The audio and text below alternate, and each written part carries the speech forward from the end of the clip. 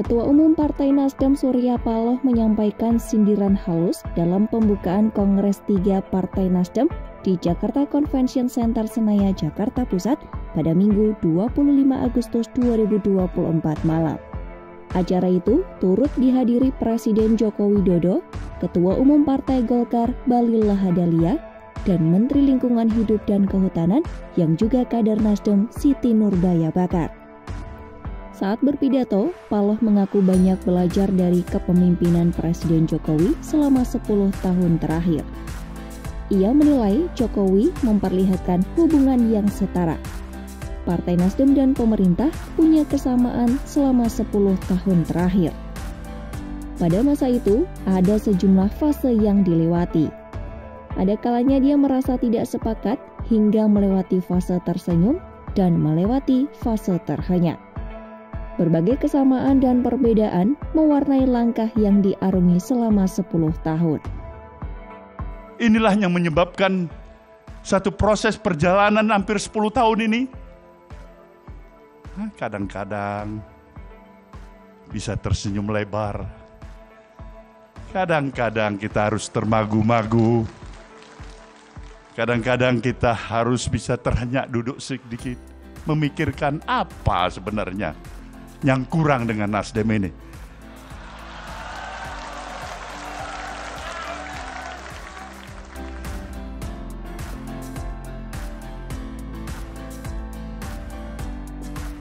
Dalam pidatonya, Paloh juga mengaku dari Jokowi dirinya belajar hidup bukan hanya niat baik.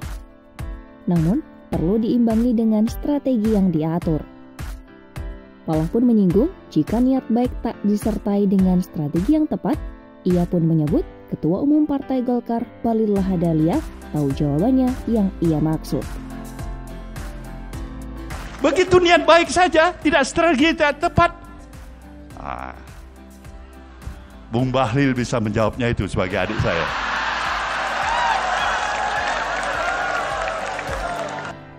Pada momen yang sama, Paloh juga menyinggung soal sejumlah pihak yang berakhir menyiasati peraturan undang-undang demi kepentingan tertentu. Padahal menurutnya, untuk menyelesaikan masalah bukan dengan membuat tambahan aturan.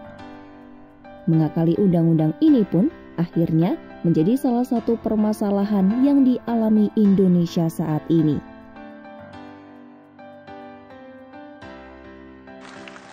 Tidak mungkin kita mengatasi permasalahan ini hanya membuat tambahan undang-undang. Undang-undang yang ada kita buat lagi undang-undang dan kita buat lagi undang-undang.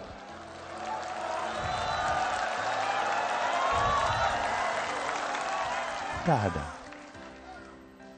Akhirnya justru kita terjebak untuk melihat betapa kita mulai mencoba mensiasatin undang-undang.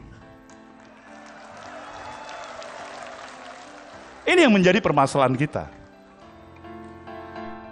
Ia menilai sejumlah pihak harus bersatu memajukan Indonesia.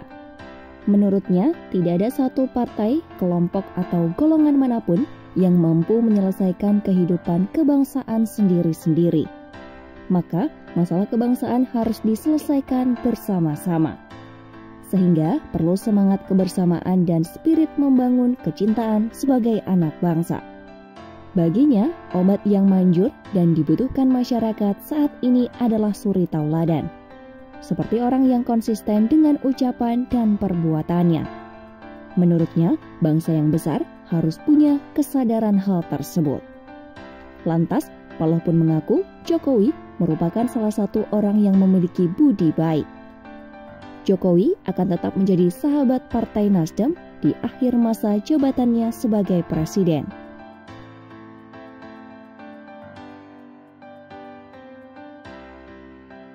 Sementara itu, Presiden Jokowi mengaku dirinya pernah mengalami perbedaan pendapat dengan Surya Paloh.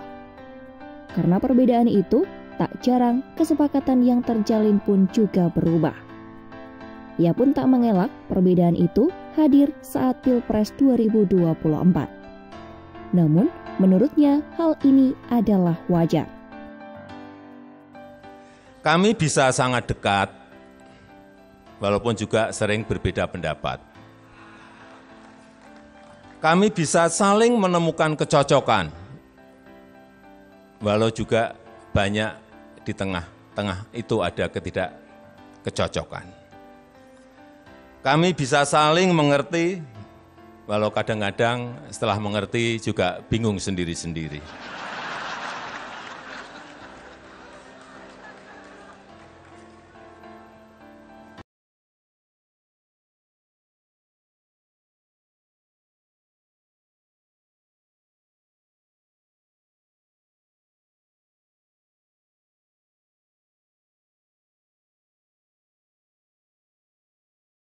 You